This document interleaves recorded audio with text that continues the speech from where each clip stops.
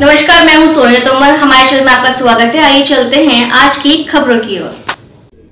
दिल्ली में आपके जुजारू कार्यकर्ता शामी आलम ने लोगों को आम आदमी पार्टी के बारे में लोगों को जागरूक किया है। आपको बता दें कि शामी आलम विधानसभा गोकलपुर के उपाध्यक्ष पद की ज़िम्मेदारी मिली है, जिसको ये बेखूबी निभा रहे हैं। जिन्होंने एक प्रेस कॉन्फ्रेंस में लोगों को बताया कि जो योजनाएँ लोगों के लिए बनाई गई हैं, उनको इन योजनाओं का पूरा लाभ उनको मिलना चाहिए ताकि उनकी जरूरतें पूरी हो सके और दिल्ली में जिन जिन लोगों के पहचान पत्र कट गए हैं या नहीं बने, उनके पहचान पत्र बनवाने की प्रक्रिया चालू है। एक एक व्यक्ति का पहचान पत्र बनवाया जाएगा। शामी आलम ने बीजेपी पर तंज कसते हुए कहा कि दिल्ली एमसीडी में भी बहुत बुरा हाल है।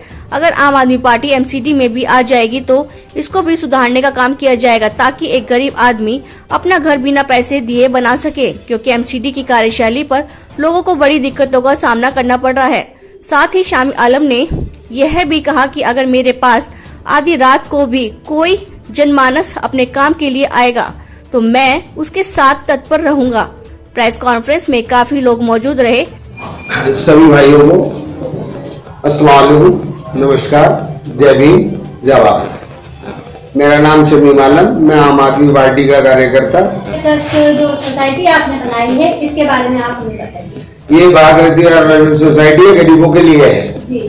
जो भी हमारे साथ गरीब आदमी जुड़ना चाहता है इसमें जुड़ सकता है और जुड़ने के बाद उसे एक कार्ड मिलेगा। हम अब एक दूसरे की मदद करेंगे। कभी कभी किसी ऐसा होता है लॉकडाउन में परेशान होते हैं लोग पैसे नहीं होते। तो जो भी हमारी सोसाइटी में पैसे जमा होंगे हम लोगों की मदद करेंगे। ये कार्ड बनने के बाद क्या क्या हेल्प होगी कार्ड बनने के बाद ये हेल्प होगी जैसे कि सपोज़ करो किसी की बेटी की शादी है और वो गरीब है और हमारे पास पैसे आ गए एक लाख हम उसे पैसे नहीं देंगे। अपनी टीम से पूरी से सलाह करेंगे। सलाह करने के बाद पूछा जाएगा कि भैया क्या करना है इसका? तो पैसे ना देके हम उन्हें सामान देंगे कि ये सामान आपके लिए है आप अपनी बेटी की शादी में दे सकते हो पैसे हम किसी को नहीं देंगे। ये आपने कहा भी गरीब जो गरीबों के लिए है लेकिन फाइनेंस तो अमीरों से आता है। सॉरी पैसा तो अमीरों से मिलता है। तो पैसा अमीरों से मिलता है लेकिन देंगे तो गरीबों को। अमीरों के पास तो पैसा है ही है। सिर्फ़ गरीबों से मतलब है जिनकी बेटी जवान है उनका ब्याह नहीं हो रहा उनकी शादी नहीं हो रही हमें उनसे मतलब है आपके क्षेत्र प्रधान गोकुल गोकुलपुर विधानसभा से यहाँ के जो विधायक है सुरेंद्र कुमार जी किस तरह का काम कर रहे हैं? सुरेंद्र कुमार जी का काम जितनी तारीफ़ मैं करूँ उतनी ही कम है। क्योंकि अब से पहले तो पाँच साल पहले तो विधायक रह चुके थे उन्होंने अपना घर भरा है। दूसरा कोई काम नहीं करा। जिस दिन से हमारे विधायक जी आए हैं उन्होंने वो काम करके दिखाया है कि आज तक पाँच साल में ऐसा काम नहीं हुआ जैसा उन्होंने करा आपके एरिया में क्या क्या काम कर चुके हैं? हमारे एरिया में तो काम कर चुके हैं। पहली जब बात तो तेरह नंबर गली में टंकी पाइपलाइन की बहुत ज़्यादा परेशानी थी पाइपलाइन की हमें पानी की बहुत ज़्यादा परेशानी थी। सबसे पहले जीतते उन्होंने पाइपलाइन का काम शुरू करा। दूसरा एलिवेटर में जो गली है उसमें नालियों का काम और सड़क का काम चल रहा है। अभी बताता हूँ मैं। सुनते रहो बहुत सारे काम बताऊँगा अभी तो एक थोड़ी ना। अभी एलिवेटर में काम चल रहा है ठीक है? इधर तुम्हारा नाले के दोनों रोड ये बनवा रहे हैं। उधर जोड़ीपुर का मेन रोड जो है वो उन्होंने बनवाया है हर्ष विहार में बनवाया है। शाम तक जिनके नहीं बने हुए वो आए ऑनलाइन फार्म भरे।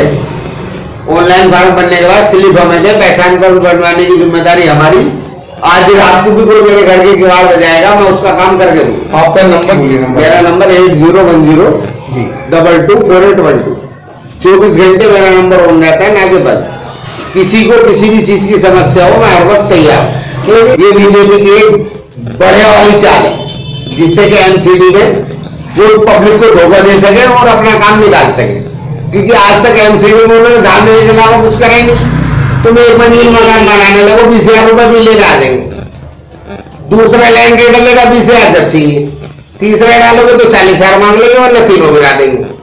ये एमसीडी का रूल है। मान लीजिए आने वाले नगर चुनाव में आम आदमी की सरकार बन गई तो किस तरीके से लेंटर डलेंगे आम आदमी की सरकार अगर तो बनती है कोई भी पाँच पैसे लेने वाला जन्मा पैदा नहीं हुआ जो मकान बनाने में पाँच पैसे ले जाए। नहीं वो ले या ना ले मगर इस कानून क्यों नहीं बदला जाता?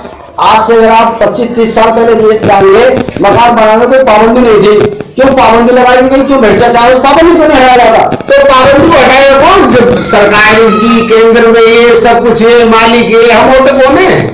अब हमें जिता दो फिर जब तुमसे कोई पैसे ले जाओ पकड़ लेना। ठीक ठीक। जब तक आप हमारा साथ नहीं दोगे आप हमारा कुछ नहीं करोगे तो हम कर कह सकते हैं कुछ भी नहीं। Bureau report Delhi.